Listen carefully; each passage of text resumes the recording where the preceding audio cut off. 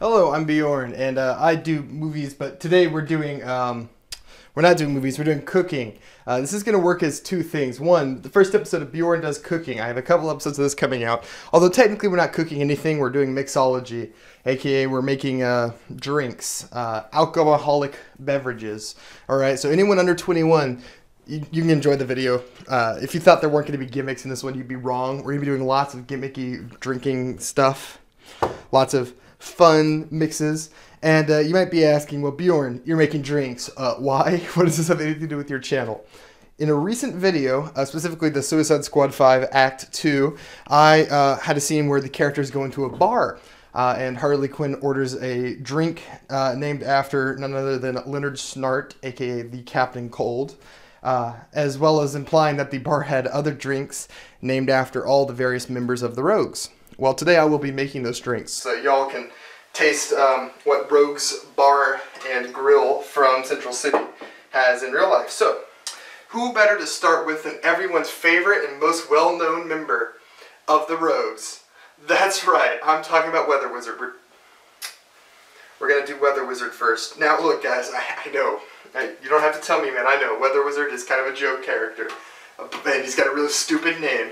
Uh, what are his powers? Uh, he controls the weather. He's basically just a worse version of Storm from the X-Men.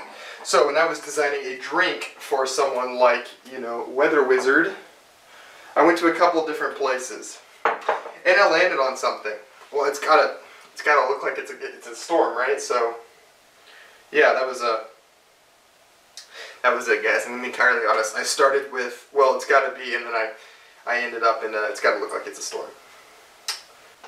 For today's drink, we're going to use a standard martini glass. Let's go ahead and pull out the liquid. So we want our thing to be storm colored, and I had a couple of angles I could have gone with for this. And uh, I ultimately went with uh, with uh, pink because that's the color that's the least like the storm. So we're going to start with um, passion fruit liqueur that I have here. Pour just a small amount in. There we go. And uh, then we're going to pour a tiny bit amount of our curacao. It's just a blue liqueur. Tiny amount here. We're going to use this for two drinks today, actually. And that's going to give this a dark, sort of stormy look.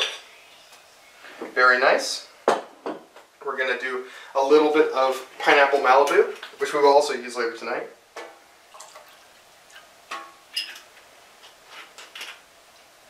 Very nice. And as y'all can see here, we've got a very nice dark blue color going now, which, you know, looks something like a storm. And uh, lastly, we've got a tiny bit of orange juice, something like a mimosa. This is going to be a very sweet drink. And that's going to give this like a little white, cloudy air that's going to mix in to our other assortment of drinks. As you can see, it's got like a sort of white look to it. We'll get a close-up shot of it. Very nice. Actually, just a tad bit more of this. There we go. That's the sort of color we're looking at. And then a splash of lemon juice, straight lemon juice. Not a lot of this. This is very overbearing, so you want to be very limited with that. There we go. We've got a very complex martini to start this off, although this isn't even a martini at all. So, you might be thinking, well, yeah, it kind of looks like the dark, nasty color of a storm, but how is that gimmicky, Bjorn? Come on, I expected better. You guys want gimmicks? I'll give you gimmicks. For this one, we're going to need rubber gloves. The uh, pinnacle of any and all gimmick alcohol drinks that you'll find at any low-rent amusement park, I'm looking at you, Disney, is of course none other than dry ice. Alright, we got dry ice there. I'm going these gloves because if I were to touch this, man, in a second, we're going to plop that right into our drink. And uh, ta-da, look, now it's a storm. Let's get a close-up.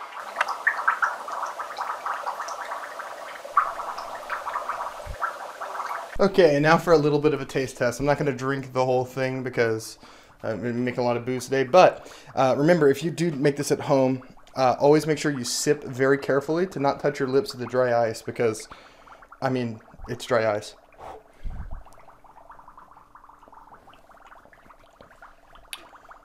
It's fine. It's a little sweet for my taste, but it's got a pretty good taste to it. I will say the color is very off-putting. I would not recommend making it that color if you weren't making a gimmicky drink. But there you go, the Weather Wizard. Look at that. It literally makes fog. That's just going to continue to gurgle in the background for about another 10 minutes. So if you'll hear gurgling in the background, we're going to move on to our next gimmick. So who is the most well-known member of the Rogues? Now I hear you're going to say Captain Boomerang, and I'm going to be real, guys. Yeah, it's it's Captain Boomerang, but and this is a big but, admittedly. I didn't make a Captain Boomerang because I couldn't think of a single gimmick that wouldn't be racist. yeah, I couldn't think of a gimmick, so we're just gonna we're gonna skip right over him and go to the second most well-known member, who is of course none other than everybody's favorite Captain Cold. So for Captain Cold, I am just gonna make it a normal shot. Uh, it's gonna be a completely reasonable, completely normal shot. Uh, we're gonna use our Kerkaligan because it's got a very nice blue color. And this time we're not gonna dilute it with a bunch of muddy, nasty looking colors. We're gonna keep it its nice pure blue so blue it makes you wonder how much dye they put in this thing. And as I said, we would reuse again our pineapple Malibu.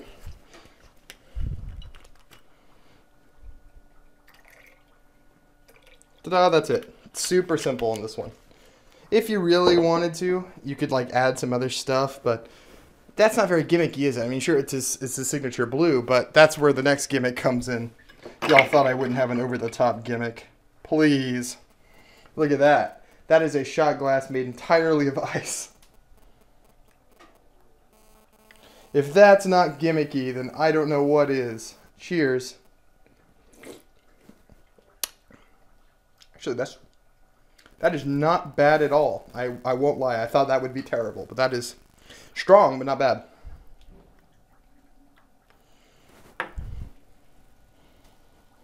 All right, let's do a money shot on that. Well, in the time it melted through.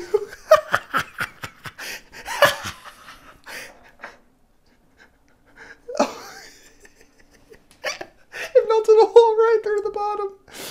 That's a problem. That is, in fact, a problem. Let's pour another one.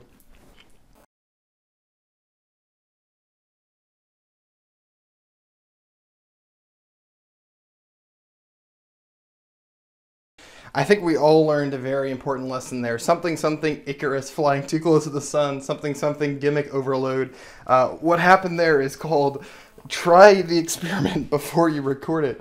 Uh, yeah, it melted a hole through all three of my frozen uh, shot glasses. I think I have to kind of freeze the uh, the the drink in the inside or, or put it over ice before I pour it into the ice bath or the ice glass because it was too hot and melted right through the ice. So um, yeah, so if you guys do it at home, make sure you put your drink on ice before you put it into the uh, to the gimmicky shot glass. Uh, lesson learned, all right. But that's the Captain Cold. So far, in my opinion, the best tasting of the bunch. So let's move on to the next. Who do we have next? We're doing Mirror Master. Uh, I have a fond place for this guy in my heart. Uh, you'll we'll probably find out sooner rather than later that I am very fond of Mirror Master and uh, have some connections to him. So we're gonna make a Mirror Master. So uh, Mirror Master is tricky because like, you know, what, what what the fuck is a Mirror Master gonna do? Like, what is that? What is that drink even like? So I came up with something kind of sweet, and uh, the main focal point of the gimmick is to be a gigantic ball of reflective ice in the center uh, here, something like you would see with like you know cocktail lounge drinks like scotches and whatnot. So there we go. Except I, I don't like scotch, so we're gonna do butterscotch instead. Heyo, uh, I've got butterscotch schnapps. Pour just a tiny bit of this in here. Very nice. And, uh, well, that wouldn't be quite gimmicky enough, so I've got two more ingredients to add. Number th the first thing we've got here is triple sec. Triple sec is like an orange liqueur. So we're gonna do orange butterscotch. That might be a little weird, but you know, Mirror Master is all about duality. You know, uh, butterscotch, orange, the duality of man. So we're gonna go put ahead a little bit of this in here. I've not tried this before, guys. So if this is disgusting, you're gonna you're gonna see it live here. But we've got one final ingredient to really pull this thing together, or not. All right, and our last ingredient cream soda. Um, now this recipe is going to be very similar to something you would see like uh, butter beer from Harry Potter world, basically, except with the orange triple sec in here. Um, so this makes for a very unusual drink. Let's go ahead and stir it up.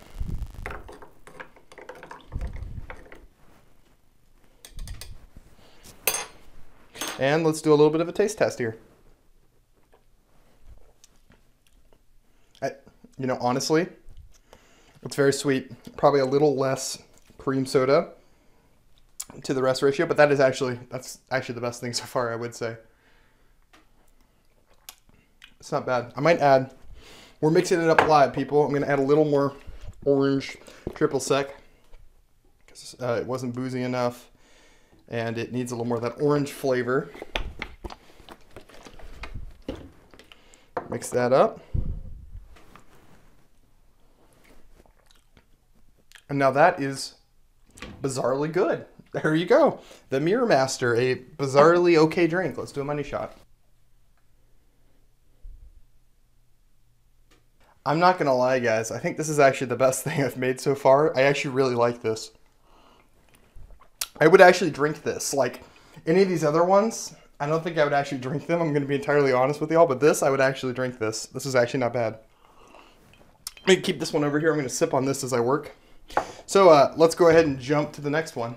Okay, so this next one is a little bit dangerous.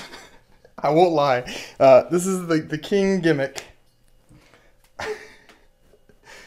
Wish me luck, y'all. So, what we're gonna need here is a liqueur called 43, and the reason I need this is because it's extremely flammable.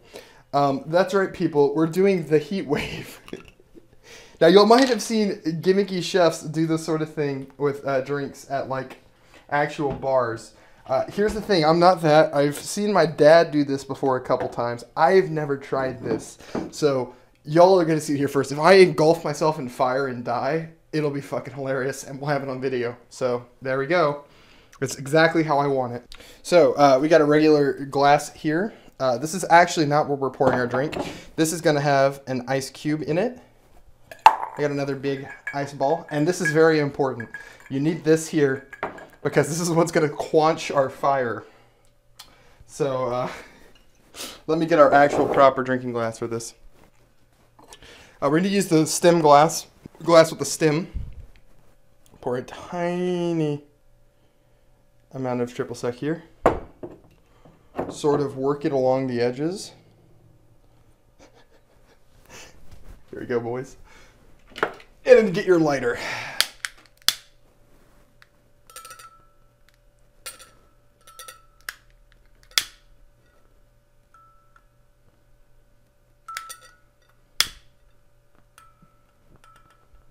Oh, kinda.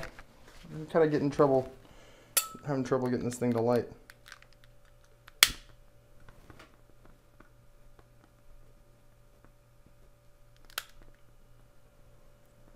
There we go. I don't know if y'all can see it, but it is in fact on fire. So now we raise, yep, it is burning. So now we raise our glass here.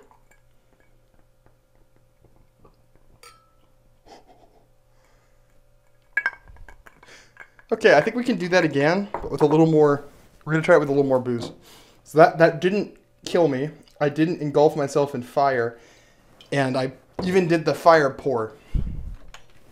So we're gonna do this next one on a close-up. So I'm gonna cut it to a close-up of me engulfing my whole body in fire.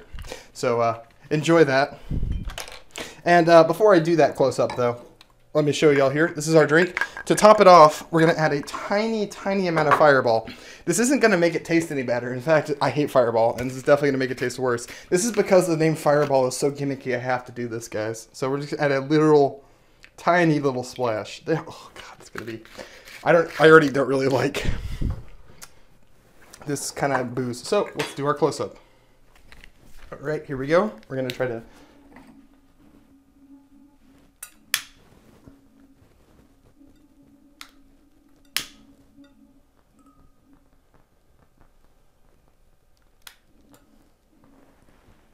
Okay, that's officially engulfed. I don't know if y'all can really see that, but there is fire burning on the inside there.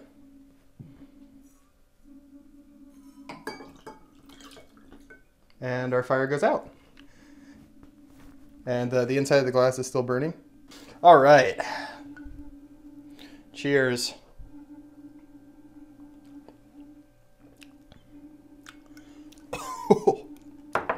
Fuck. That is 99% fireball, which I hate. Do not add that splash of fireball, guys. I flew too close to the sun. I was Icarus all over again. Um, yeah, don't add that splash of fireball. Okay. So, on to our last member of the Rogues I'm making a drink for today. Sorry, I'm just taking a nice refreshing Mirror Master to get the taste of the uh, of the fireball out of my mouth. People who drink fireball are actually psychopaths. You heard it from me here, folks. So, who is our last member? It's Rainbow Raider. Woo! We all like Rainbow Raider here. And uh, you know what that means? We need every color of the rainbow in, in one vile, disgusting glass. And that's exactly what you're going to get today. So here we go. I've got our Mactini glass we just washed. And uh, let's go ahead and start with more of the blue stuff. So here's our first color of the rainbow. Blue! Woo! Yeah, baby. Let's add some blue in here. This is to be I want y'all to know at home, this is to be disgusting. Whatever it is I'm concocting here. It's to be gross. Next, we've got purple with our uh, passion fruit coming back into the fold. It's to look just like the weather wizard. All right, what's next? For our yellow, we've got pineapple. it's gonna be just like the Weather Wizard until it isn't. Because we still got green and red.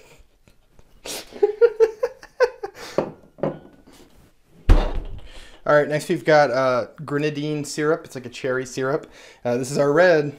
Put it in.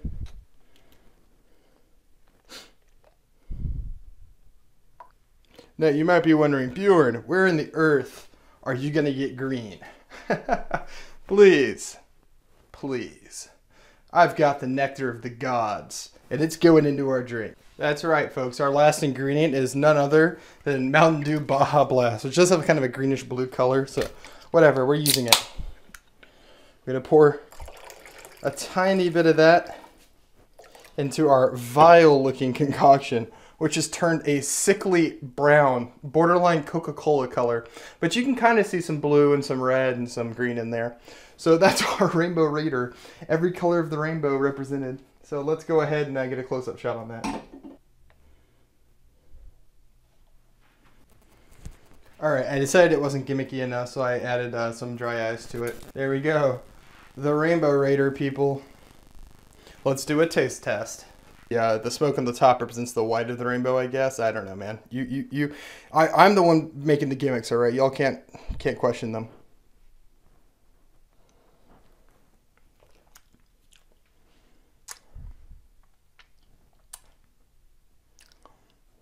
I mean, honestly, it's still better than the Weather Wizard. Somehow adding more bullshit to it made it slightly less terrible. But it's, uh it's still not ideal, is it? I really should have just looked up drink recipes of just, just ham-fistedly making my own. There's really one flavor in there that's kind of not great. I don't know what that is. It's probably the blue shit. I think the blue shit has been the common denominator in all the gross ones. So uh, there we go. Um, this has been uh, the first episode of Cooking with Bjorn, and uh, as I said, it serves as a teaser. Um, a, that I'm going to do more cooking videos going forward, and that uh, coming up very soon in the next couple of days, I will be releasing the finale to all of my Suicide Squad writing projects. So if you're a fan of those, get excited. If you want to try any of these recipes, I don't know why you would, except for the Mirror Master. This one is delightful. Uh, in the description, I have full links. Remember, don't drink unless you're 21 or over, unless it's really cool, guys, and your friends are really pressuring you into doing it. Then it's okay, all right? And... that's a joke for for the record. That is a joke. Uh, also, don't drink and drive. Uh, it's not cool, guys. Don't do it. All right, I will be upset. Dude, fuck, that is so good. Why is the Mirror Master so good?